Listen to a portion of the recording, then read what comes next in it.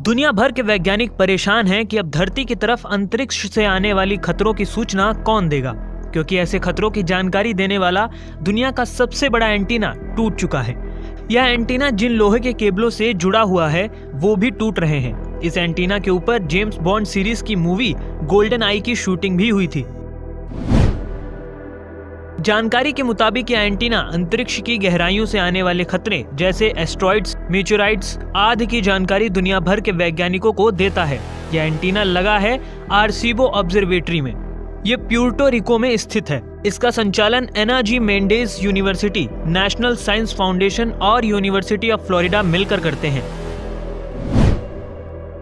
इस ऑब्जर्वेटरी में 1007 feet 3 inch diameter का एक बड़ा गोलाकार एंटीना है, जो दूर अंतरिक्ष में होने वाली गतिविधियों को पकड़ता है। इसका मुख्य काम धरती की तरफ़ आ रही खगोलीय वस्तुओं के बारे में जानकारी देना है। 1007 फीट व्यास वाले एंटीने में 40,000 एल्यूमिनियम के पैनल्स लगे हुए हैं जो सिग्नल रिसीव करने में मदद करते हैं।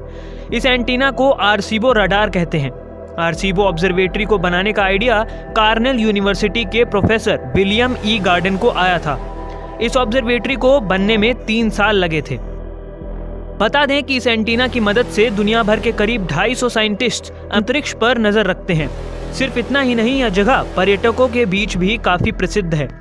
यहाँ पर हर साल करीब एक लाख पर्यटक आते हैं, ताकि वो इस एंटीना को देख सकें और यहाँ पर किए जा रहे कार्यों के बारे में जानकारी हासिल कर सकें। इस एंटीना ने पिछले 50 सालों में कई चक्रवातों और भूकंपों की जानकारी भी दी है। अब साइंटिस्ट हैरान हैं कि करीब 900 टन का यह ढांचा कुछ ही केबल्स पर टिका हुआ है। इसे तत्काल रिपेयरिंग की ज़रूरत है।